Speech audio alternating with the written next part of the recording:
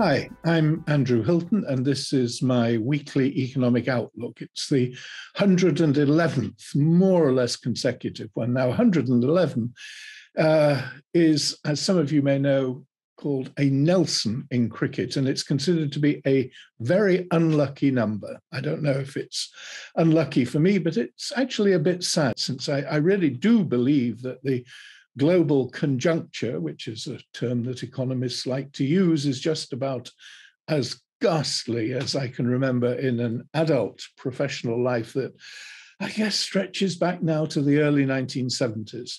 These weekly videos tend to focus on the immediate economic and financial, and I guess increasingly geopolitical developments on all three counts uh, I have to say that last week was a doozy.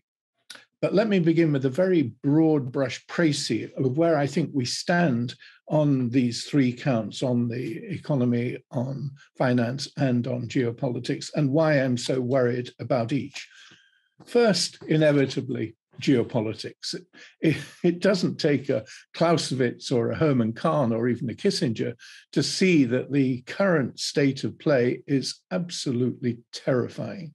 Anybody who's seen any of these videos before knows my view about the Ukraine war, but it's worth repeating, I think. First, I think there is no doubt that, well, there is no doubt that Putin is the aggressor, but it's also worth remembering that the eastern Ukraine was part not just of the Soviet Union, but of Russia for a thousand years. Indeed, the first capital of Russia was Kiev. Second, it's worth remembering that Reagan and Jim Baker pretty much promised the Kremlin that Russia would have a free hand in what uh, it called its near abroad after the fall of the Soviet Union, and that we, that is, we in the West, would not try to move the West's military alliance up against the Russian border, as we subsequently did. And third, it's worth remembering that Putin's that prior to Putin's invasion, Ukraine was pretty much universally considered either the most corrupt and ill governed state in Europe or the second most corrupt only to Russia. Indeed, Zelensky, who is now genuinely a hero, was until Russia gave him the opportunity to rise to the occasion little more than the stooge of a, shall we say, rather controversial Ukrainian Israeli oligarch called Igor Kolomoisky.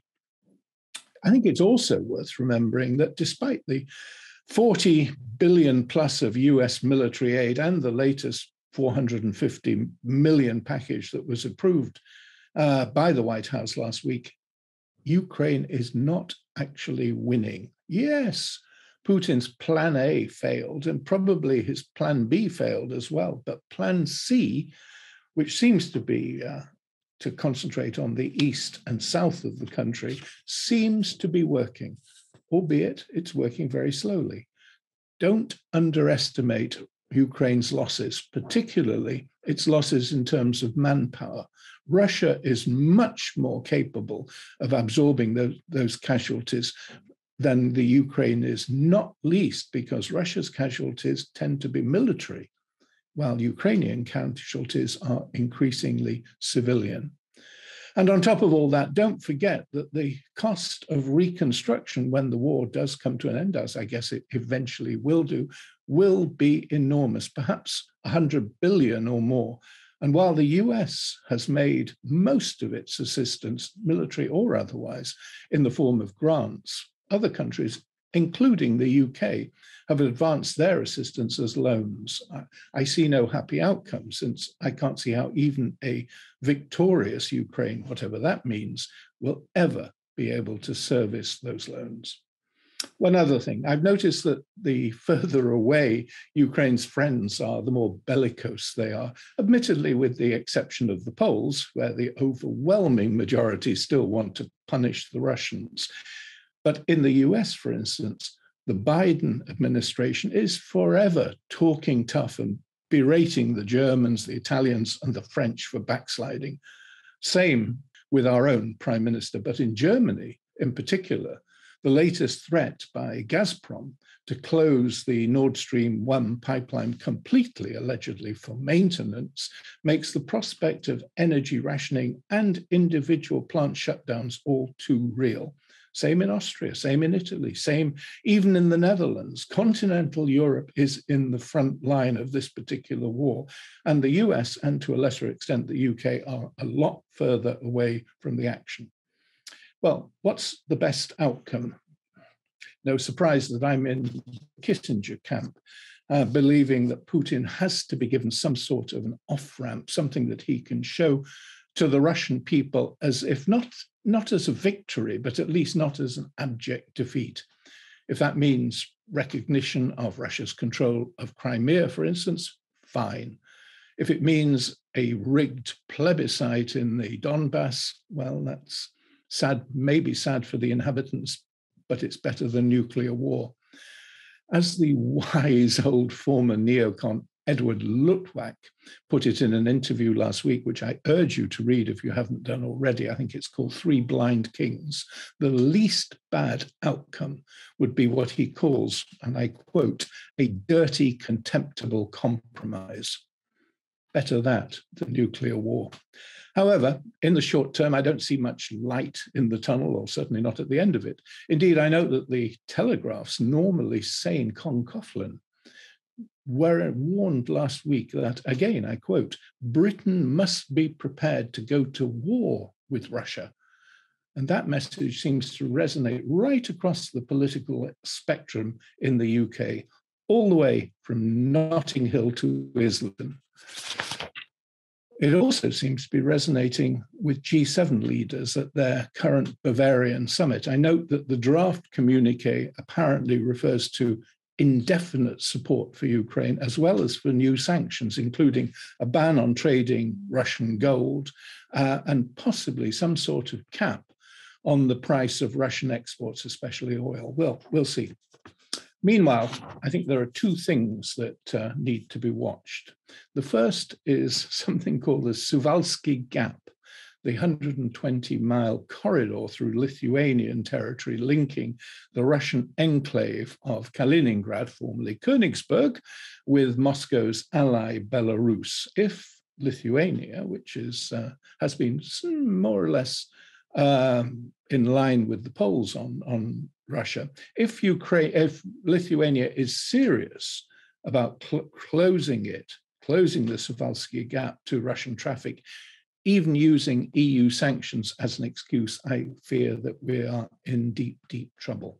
Second, debt.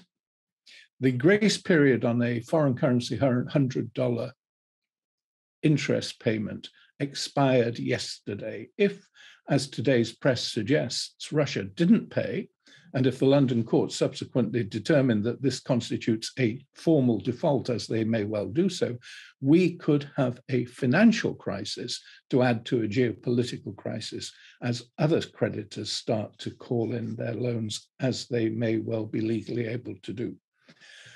But of course, it, it's not just Ukraine that we have to worry about. Ghastly though the Ukrainian situation is, and devastating though it has been to energy and food markets, to global supply chains uh, in Europe and beyond, and indeed to the whole concept of economic and financial globalization. There's also China, which you may have noticed, hosted a virtual meeting of the BRICS group last week, at, at, which, to Washington's shock horror, no one, absolutely no one, condemned Russia's invasion of Ukraine, and everyone continued to apparently want a slice of China's largesse. Most of us in the West uh, tend to think that China's Belt and Road Initiative, the BRI, is a busted flush and we look at what's happening in, for instance, Sri Lanka as a cautionary tale. But for most countries in the global south, including some very big ones, China is still seen as a source of capital that is cheaper uh, and that comes with a lot fewer strings attached than aid from the United States or the World Bank or the IMF or even from bilateral lenders like the UK or the EU. In other words, despite Xi's, Xi Jinping's manifestly incompetent handling of the domestic COVID epidemic, and despite the experience of countries like Sri Lanka, China can still count on the support of most of the global south in any conflict with the US hegemon, something that may well be tested fairly soon in the South China Sea. I note that the G7's pledge uh, the, the, G7 has pledged to set up a global in, infrastructure fund to rival, allegedly, the Belt and Road Initiative. But first of all, at 600 million dollars, it would be tiny in comparison with the BRI. And secondly, somehow I doubt that the terms that it will lend under and the conditions that it will attach will be competitive with China's, shall we say, flexibility. And then there's Iran. Um, I see that over the weekend, Josep Borrell, uh, the EU's foreign policy czar, uh, has said that he's hoping to restart the JCPOA, that is the Joint Comprehensive Plan of Action, the JCPOA talks on Iran's nuclear program sometime soon, perhaps in the next couple of weeks. That's a schedule that um, could well coincide with the emergence or the re-emergence of that arch hawk Benjamin Netanyahu as a political force in Israel, which is great timing. And don't expect Biden to help. Um, this is election season in the United States, and making concessions to the mullahs in Tehran doesn't win any votes on either the east or the west coast of the United States. Uh, therefore, I have to think this remains as scary a flashpoint as it was pre pandemic. One could go on. At a global level, this weekend's G7 summit in, in Germany was obviously hijacked by the Ukrainian war, even though the US had apparently wanted to use it to build a more effective coalition against China.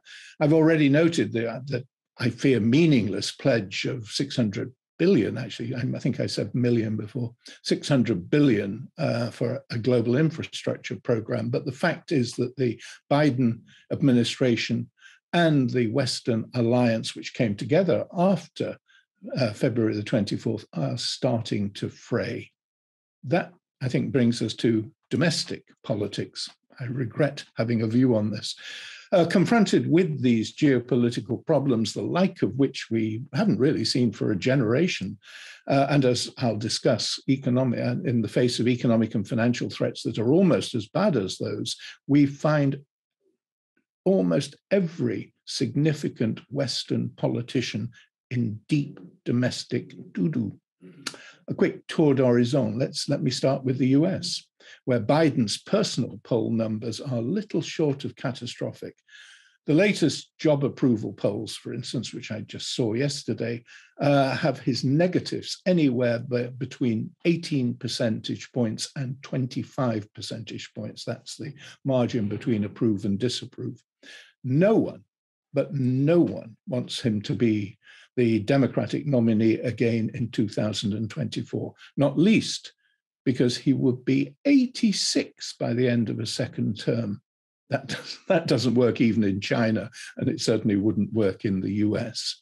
Not surprisingly, given, however, given that he still insists that he will run, the Democrats have genuinely been in despair until and until now it had, in my opinion, been a racing certainty that the Republicans would break the Democrats' hold on Congress in the midterm elections in November. However, everything may have changed.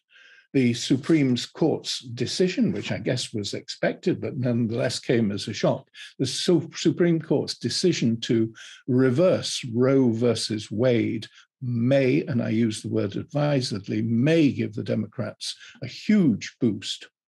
The problem, however, is that abortion, like race, is an issue in the US that people are very reluctant to speak about openly or truthfully. Uh, that said, I think it is clear that the US media, even the more moderate media, is overwhelmingly offended by this decision, which it contends overturns what was previously settled law.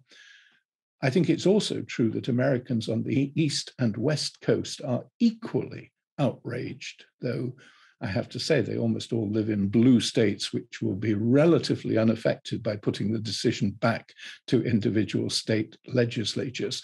And it is true that younger Americans, younger Americans are also upset, but by and large, they don't vote. Now, I haven't yet seen a poll that has been taken after the court's decision, but previous polls tended to show something that was a bit counterintuitive. They tended to show that the country is actually split 50 50 on this issue and that it probably won't have that much impact on voting patterns, whatever the New York Times, or, or for that matter, even the Financial Times says. The problem, as I see it, however, is that the Supreme Court may not be able to keep its mouth shut. Uh, indeed, there are stories, um, I don't know how accurate they are, that Clarence Thomas, uh, who, along with Sam Alito, is one of the more conservative judges, even though he's, he's the only black judge on the panel, wants the court to tackle two other equally settled issues contraception and same sex marriage. Now, that I think really would be a bridge too far, a bridge that the court shouldn't even be thinking about uh, crossing. If Thomas doesn't keep his mouth shut, he risks a political attack on the judiciary, the like of which we haven't seen in a hundred years.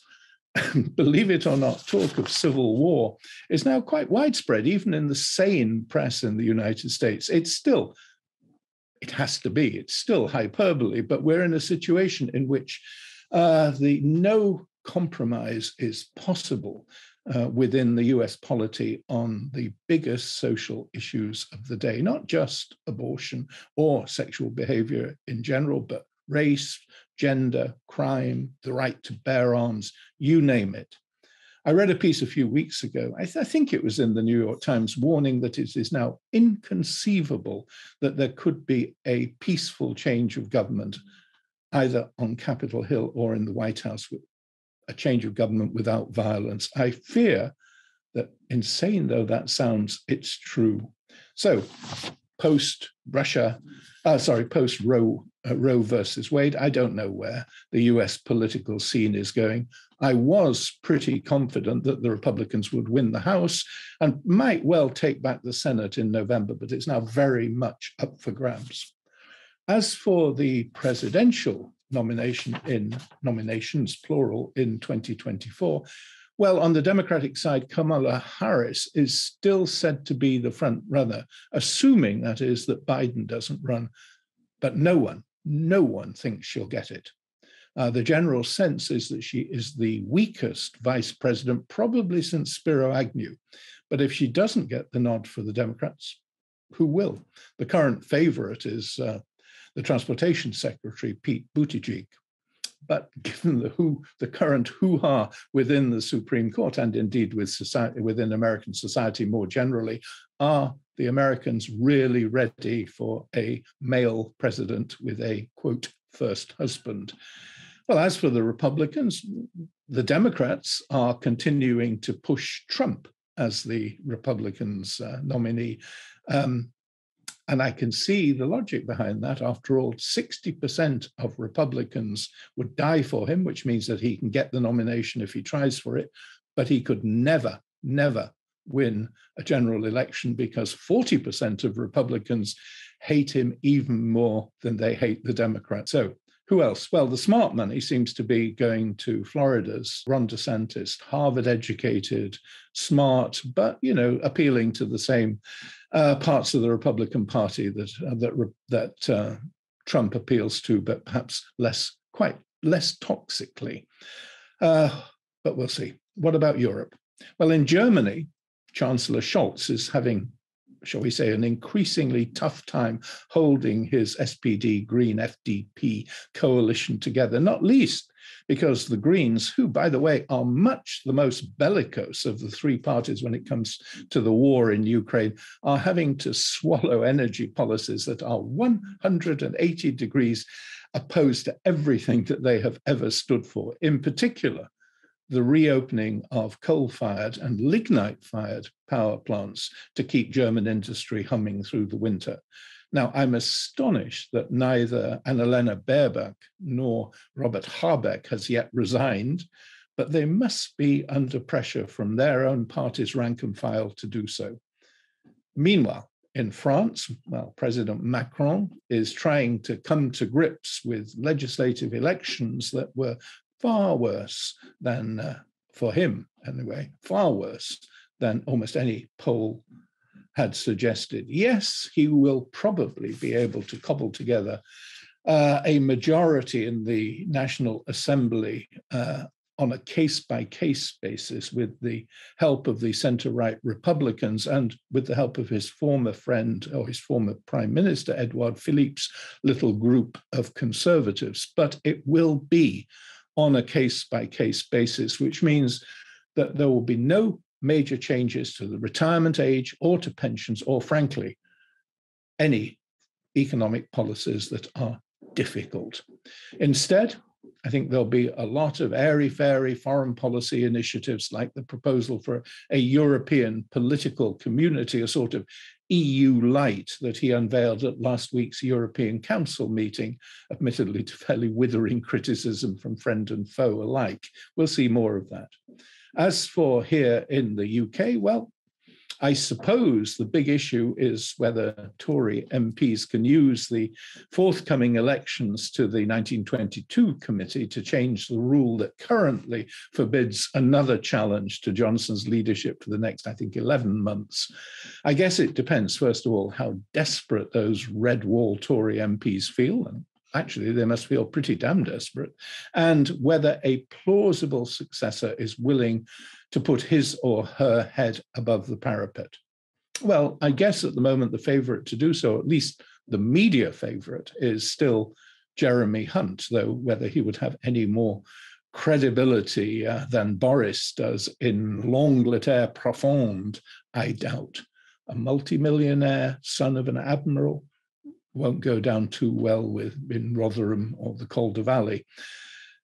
But that's just politics. On the economic side, almost all the advanced economies, with the admittedly notable exception of Japan, currently confront a bouillabaisse of connected problems, including, first and foremost, a recurrence of inflation partly caused by the Ukraine war, but more fundamentally, the product of the profligate use of monetary policy during the pandemic, pumping cheap or, for that matter, free money into the economy on a hitherto unimaginable scale. Second, a very real and I think growing fear that the response of the monetary authorities, that is primarily the central banks, to this upsurge in inflation uh, will tip what was a fairly weak post COVID economic recovery into an out and out recession, or perhaps something even worse than a recession.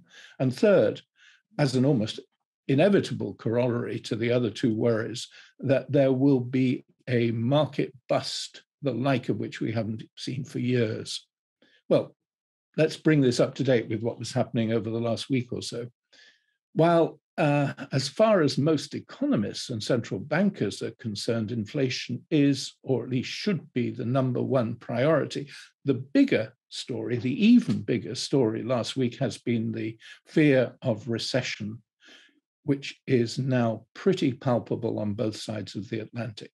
In Europe, it's now almost universally acknowledged that a recession, defined as two quarters of negative growth, two consecutive quarters of negative growth, will begin not later than the fourth quarter of this year. In the US, the latest survey of Wall Street economists by the Wall Street Journal, which they, they do every quarter, suggested that there is a 44% chance of a recession in the next 12 months. That's up from 28% in the journal's April survey and 18% in January. Given that Wall Street economists have stopped to sell, that's a pretty damn devastating increase in pessimism. That said, however, uh, the latest flash, that's the preliminary S&P purchasing managers indices for June, don't necessarily support that pessimism. True, the PMIs are slowing almost everywhere except Japan, but they are still above 50 uh, which is the cutoff between growth and uh, contraction in almost all the advanced economies. Still, the sentiment on growth has shifted and it's now very definitely turned negative. And I guess one can see why. In, in the US, for instance, it was reported last week that existing home sales, which are a really important indicator, fell 3.4% in May. That the Michigan Confidence Index, which for some reason is very closely watched by market players, fell from 58.4 to 58 last month, and that both the Chicago Fed survey and the Kansas City Fed's activity indices slumped in May. There, on the other hand, there are counter indicators, particularly as far as the US labor market is concerned. It's still very, very tight, but the needle has clearly shifted in favor of a sharp slowdown and indeed a recession. That's even more true in Europe, where the problem is compounded uh, by, the, by being in the front line and the war uh, that's going on in Ukraine. Um, there's also increasing divergence in economic, in relative economic performance within the Eurozone in particular. The best indicator of that, I think, is interest rate spreads, which have widened sharply in some of the southern European countries. Italian 10 year spreads are now 211 basis points over German bunds not as high as the 230 basis points in Greece, but worryingly high given the cost of servicing Italian debt, much of which is short term and therefore is affected by the changes in uh, policy rates. Now, again, economic indicators in Europe are not all negative, but at the Eurozone level, it was reported last week that the consumer confidence index fell in June from an already low minus 21.1 to minus 23.6. More important, perhaps, the IFO, that's the IFO survey in Germany, which is closely watched by the market, fell across the board with the business climate index down, the current conditions index down, and the expectations index down as well. As for here in the UK, well, the big news last week was that the CBI's industrial orders index fell sharply in June, as did its distributive trades index. It was also reported that GfK's consumer confidence index hit a record low in June and that retail sales volumes were down 0.5% last month or by 4.7% year on year, though in nominal terms, they were actually still up, but that's only because of inflation. So, what about inflation? Well, it wasn't a big week for price data, particularly in Europe, but it was reported that in Germany, the PPI, that's the producer price index, was up 33.6% year on year in May. And that here in the UK, the CPI, the consumer price index, hit 9.1%, with the producer price index at 15.7%, and the retail price index, which is still used for all sorts of things, uh, is now 11.7%. Even in Japan, inflation is becoming a little bit of an issue. It's now around 2.5%, which is, I guess, super high by recent standards. So, what should be done? Well, possibly the most important single event of last week on the economic side was Fed Chairman Powell's two days of what used to be called Humphrey Hawkins testimony to Congress, in which he tried to lay out the Fed's priorities and positions. Now, this is this is genuinely a puzzle to me as i read reports of what he said in his testimony and in the subsequent press conference powell was unequivocal he, quote we have to get inflation down he emphasized that the fed's commitment to inflation was quote unequivocal which i take to mean that the fed will prioritize inflation over growth no matter what the biden administration or congress thinks the same line was picked up by other senior Fed officials, but to my surprise, the market seemed to have drawn the opposite conclusion. They feel that the Fed has pulled back on its plans for aggressive interest rate increases. Personally, I doubt it, but we'll see. What is fairly clear is that there has been a shift in Fed th- the Fed's own thinking about inflation. It's now less concerned with what it calls core inflation. That is, uh, that was always its priority, and more concerned with inflationary expectations. In that sense, I would expect it to be more aggressive, not less, since expectations are very hard to drive down. In the meantime, the only relief that American consumers are likely to get on the inflation front is a temporary suspension of the federal gas excise tax on gasoline, which is 18 cents per US gallon, uh, though I doubt that the companies will be inclined to pass all of it on. All of this ought to have had an impact on financial markets, and I guess it has done. In the FX markets, for instance, there's been an 8.6% rise in the trade weighted value of the dollar since the beginning of the year. Now, that's a very substantial shift indeed. The dollar is now up 7.3% year to date against the euro, 9.3% against sterling, 4.9% against the Swiss franc, which is the only other acceptable safe haven currency and a hefty 17.4% against the yen, which actually hit a 24 year low of 136.7 yen to the dollar on Wednesday before it bounced a bit. Just about the only major currency that has beaten the dollar over the last couple of months is the Russian ruble.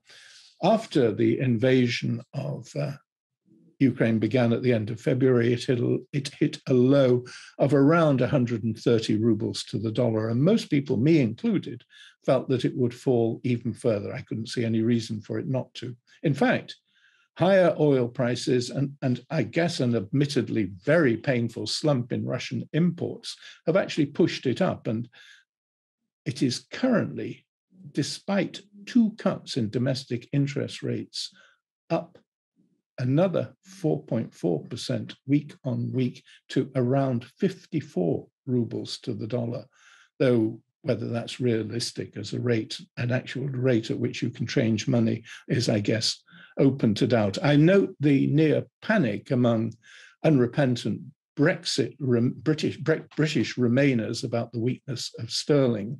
If you read and if you believe the Financial Times, there is a sterling crisis underway. And the former Treasury Permanent Secretary, Nicholas Macpherson, seems to have been bigging this up.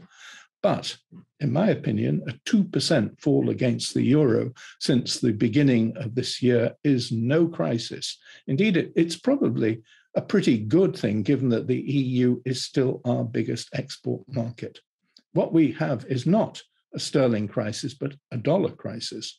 And a crisis because quite clearly funk money is flooding into the dollar and driving US bond yields down despite the Fed's rhetoric, regardless of the damage that that might do to the US economy or to the US balance of payments. Now, I'm not going to say anything, or at least not very much, about Bitcoin this, this, this week, or indeed about cryptos in general, not least because with the SEC's uh, Witchfinder General Gary Gensler now on the case and taking an interest in the crypto market, it's hard to see that they have much more upside.